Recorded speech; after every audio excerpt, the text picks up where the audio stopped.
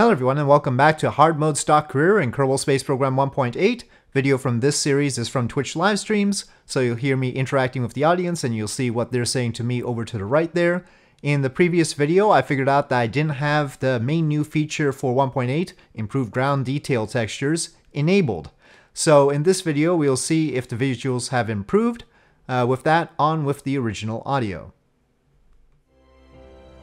Alright, let's see what uh, Kerbal Space Program in all of its glory looks like now. We've got it on high, we've got all the reflections and things that could possibly cause lag. Let's find out. uh, okay, oh, we wanted to do the Mun stuff. Uh, that's new. Okay, wait. We'll be able to do science from space around the Mun. That's fine. We're gonna rescue uh, Kerbal around Kerbin. We're gonna rescue a Kerbal around the Mun. We're going to land on the Mun and plant a flag. And maybe do some temperature surveys. So I don't know. Maybe maybe we shouldn't use this command pod. What do you think? Maybe we should do two launches and handle them separately and do a rendezvous instead. I mean, what I really want is the better communication, because right now we can't communicate to Mars very well. We need to get all the way up here. But we're gonna have to need another... Um, R I, no, we don't need another R&D building upgrade yet. Okay, so advanced electrics we really need. And yeah, I, I think I wanna I wanna get electronics, so so that we can go to Duna. Yeah, so I want good comms, so we're gonna unlock this, and we'll hold off on the Gemini for now. Let's just rescue that Kerbal around. let's just keep it simple. No, let's not keep it simple. We'll do a rendezvous. We'll rescue the Kerbal and then we'll rendezvous with that pod. Okay, um...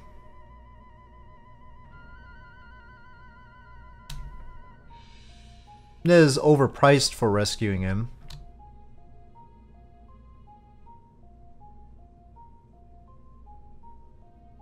Yeah, but if I launch two of the same thing, it's simpler. Can't go wrong with Smurf 3. Let's not talk about it wobbling. The Rory's Hulk. That's the one. Still equatorial. I thought they'd make it more challenging for me, but okay. Let's go. Throttle up, SAS on, and launch. I wouldn't say it's boring. It has the benefit of things happening quickly. There are ways in which realism overhaul is boring, because things take a long time. Oh yeah, yeah, the shuttle cockpit has four seats.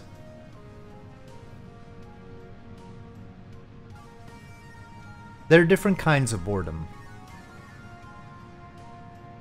I would describe stock as relaxing, not boring. Uh, no, I don't. I don't need challenging like that. I can just go back to realism overhaul if I want challenging. Thank you. I actually had a little rocket rover. I used the Twitch engines way back, way back. Um, the little Twitch engines so that it could uh, hop up every now and again, just in case its wheels couldn't uh, carry it over something. It wasn't meant to uh, use the rocket engines for very long, but as a preventative measure from getting stuck. I'm sure everybody's done that sort of thing before.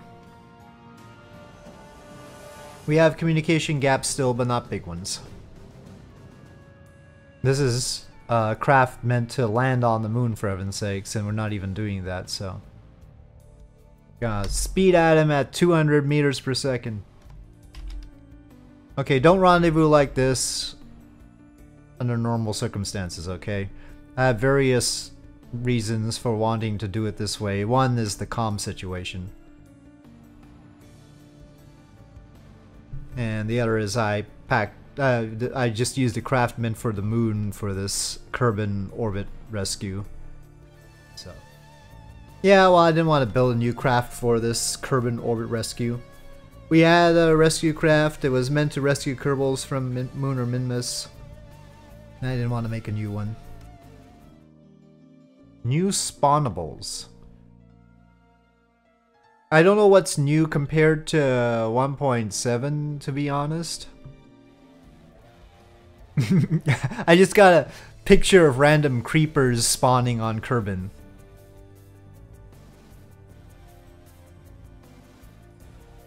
What if what if there was an actual menace that faces the Kerbals, and that's why they wanted to leave? Scout we haven't really gone close to the ground. So I don't know what the setting has done. Because we're rescuing a Kerbal. When we land on the Mun, maybe it'll show, uh, we'll see some more. I think we should definitely send this Kerbal somewhere, though. Maybe we'll have the Kerbal land on the Mun. It's possible. Should we have the Kerbal land on the Mun before actually rescuing? How did they use this fuselage to get here? Uh-oh. No communication. Oh, good thing I didn't aim directly at it. Okay, Kerbal. You're gonna need to catch up. Okay, that was a bad way to get out of the pod. I'm just saying. In the future, in our space program, you should not do it that way. Okay, now we have Kerbal control, and Dorori is an engineer. We never get pilots. Okay. Well, you know, we've sort of rescued Aurora. Uh, well, uh, rendezvous two vessels. Oh, we don't even have to do that anymore because this counts as a rendezvous of two vessels. Okay. Um, I see uh, planet flag on the Mun, but we can't rescue Dottie like this because we don't have a second seat. Gosh darn it. Maybe we'll get another planet flag or another thing to do with Dottie. Okay, so um, we'll have Dorori plant a flag on the Mun and do some scientific data, because why not? Oh, near future tech? They've been like taking little steps towards KSP too, like it's a transition rather than a big leap. Oh, there's Orion. Okay, so this is the real skybox, because Orion is right in front of us. You know, improving the terrain a little bit and doing all these things. Orion is like the only constellation I can recognize. Here, you can see belt, sword, da da da da. Very clear. Yeah, that's Betelgeuse. I don't know how to pronounce uh, it. must be pronounced some other way, but I never know how to pronounce it. I don't know the other star names. They're all very famous stars, but not good at that sort of thing.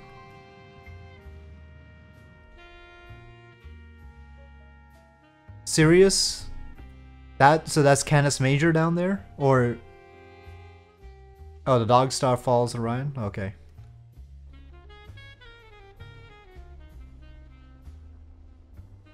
But then why is there a brighter star here? Or is that like Jewel or something? I don't know. There shouldn't be a brighter star than Sirius. Sirius, pretty darn sure is the brightest star in the sky. I can't really tell. I mean, because, no, there's no way that's a planet. So yeah, here's here's Orion. There's that, and then there's that other star. It's not a planet, because otherwise it'd be in the plane of the system, and it's not. So we just rescue this Kerbal, but we don't allow rescued Kerbals to come back that easily. So out to the moon. Let's make sure we're getting solar power. No, I, I think for this, what I want to do is build really gargantuan structures eventually. That's my goal. You can't really build, I mean, you know, you really can't build anything too obnoxious in, Kerbal, in uh, Realism Overhaul. I want to build obnoxious things in orbit around planets. That's that's what I really want to do. We want to press the the um, you call it, physics limits of things and get that frame rate down to a nice two it'll be an elegant gargantuan thing. I mean, it'll have a certain kind of elegance, sort of like a Picasso painting. So we need to hit these temperature spots. Maybe we'll do those three first, and then we'll rescue, not Lola. Um, where's the other Kerbal we have to rescue? No. Dottie. Hmm.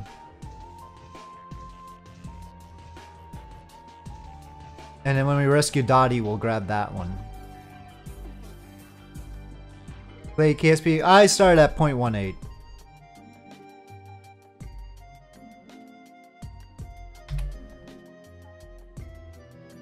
Did we even pack a thermometer? We didn't even pack a thermometer, did we? Okay, skip that. This will land, plant a flag, but no thermometer readings. Dottie will have to do the thermometer readings. We'll pack a we'll pack a thermometer and not do landings. Not configure for landings. That'll give us enough part count. We uh, we still have a 30 part limit for those wondering why I do the things that I do. It's because we have a 30 part limit for that's like limitation number one right now. And I'm gonna keep it that way because that that does make it more interesting. You're wondering where is the challenge for somebody who's done realism overhaul? Well, 30 parts is a challenge. Can uh no, not in the game without uh, Principia or something, because Minmus is on a. Uh, it's um. Well, yeah, I mean, well, it depends on what you how you define move. Any rocket will move Minmus, but not very much. yeah. Any rocket will move Minmus, just not a whole lot. It's like, I think somebody asked me, if you took all the oceans of the Earth and you turned it into hydro hydrolox, hydrogen and oxygen, and you use that to fuel a standard chemical rocket engine, how much could you move the Earth? And I calculated out and it was about 2 meters per second. So, there you go. You cannot take the oceans of the Earth and try and move the Earth. You're not gonna get very good results. You'll get results. I mean, you know. Yeah, slingshot, flybys, change over. Yep. Yep, but only a tiny, tiny, tiny, tiny, tiny bit. Everything changes stuff by tiny. Okay, the ground looks actually a lot better. Okay, thank you, Nav Twitcher, thank you. Okay, so, um, yeah, we'll have to get closer. Good thing we're planning for a landing. Um, that might be too low. I was uh, aiming for the thermo uh, temperature readings, but because those those have to be at eight kilometers or so. Uh, if we're gonna land on this side, we don't want to be that low on that side. We want to be low on this side. First burn for landing is always a burn that barely gets your periapsis grazing the surface, but well away from the landing site. This might be a little bit too close, though. Well, uh, that's because that's a little bit high there. We'll see. That lip at the edge of this crater. This this bit here seems a bit high. Then again, we seem to be going down that trench. That might be interesting.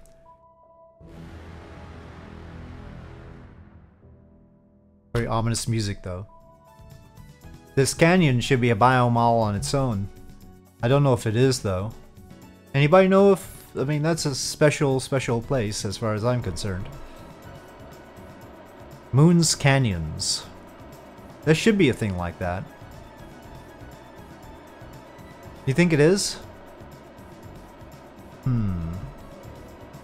I mean, hold on. If it is,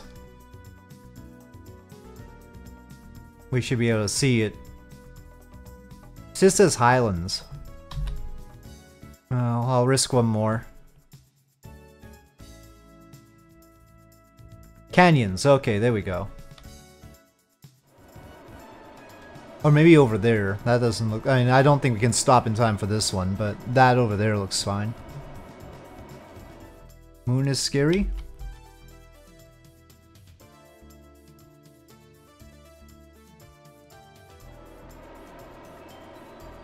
Tylo is scary. Tylo, Tylo. Tylo is scary. Important to remember we still we have the spark engine and not the not the Terrier. This is a steeper place than I thought it would be. But it does look a lot better than before. So, my fault for not having the right settings. How are we ever gonna find the special rocks with all these little rocks though? I mean, we, uh, we don't have to find a special rock this time, but... Saying for the future.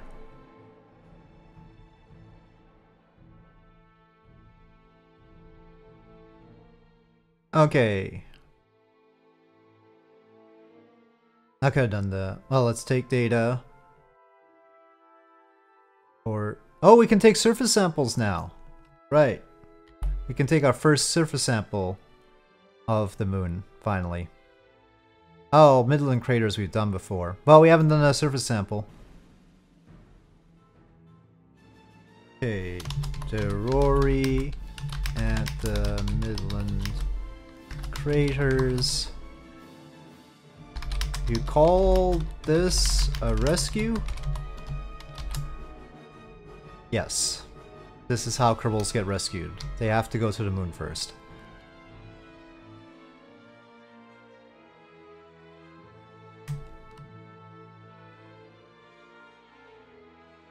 No, you went too high. Gosh darn you, to Rory.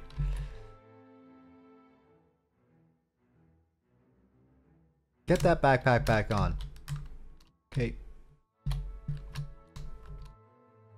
Grab.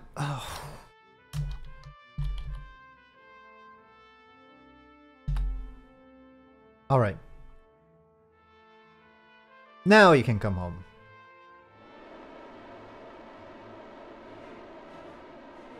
No, yeah. I mean, yeah. There's no nothing that's gonna make it easy to move the whole Earth.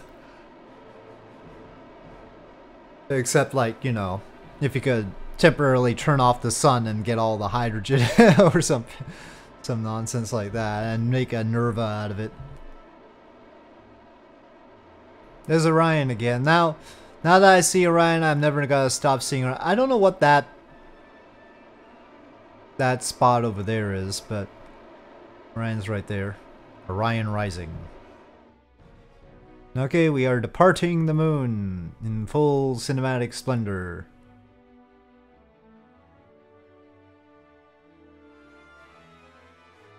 It's like we have tossed the Mun into the Milky Way.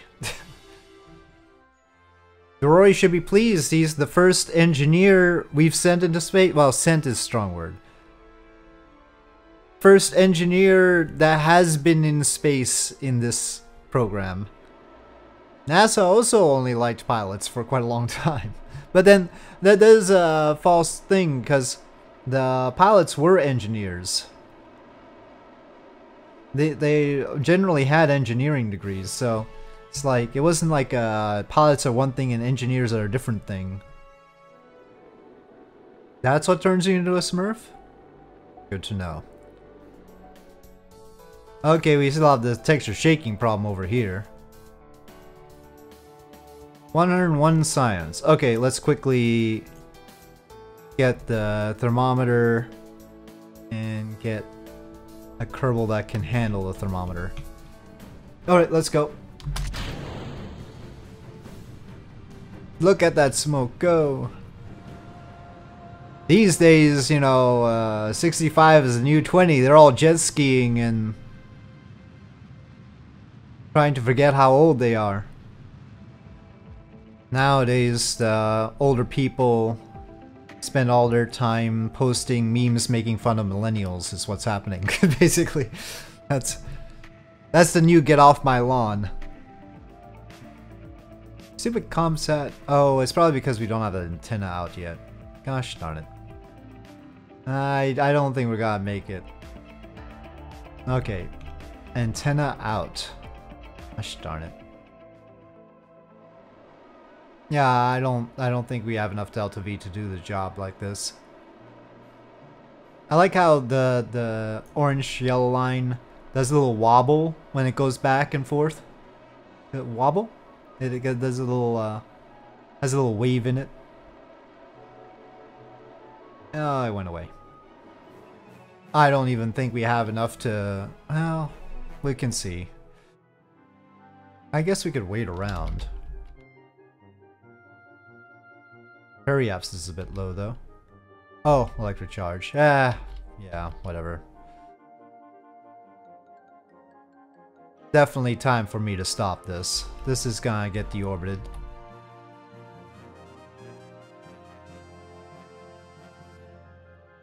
Burn back to it. Uh, we lost communication so I couldn't shut down the engine. That's why we burned past the Mun. I would try to burn back to it because I was trying to see if we could fill the mission and correct the overburn, but... Anyway, this will be disposed of. Uh, I think I better spare us any more failures, and uh, we will watch Dollar Root to his stream. A minute? Okay. Uh, we can take a look at the contracts and the tech tree. Two rogue pieces of debris? Eh, just later on get a debris collection vehicle or something. We've got 116.7. I want the skipper. I hate those engines clustered at the bottom of that stage. We can just replace all of them with the skipper. Um, these are tempting too. Okay, quick poll. Um, advanced flight control for these or heavy rocketry? Well, it's not the mainsail yet, it's just skipper. Mainsail's down the road. So it's either uh, skipper basically and poodle and such, or advanced flight control with RCS and the Mark II command pod. Come on, please tell me there's not just gonna be one vote. Contribute to your democracy or lose it, darn it. I don't give you votes often, it's mostly a dictatorship around here. So, heavy rocketry.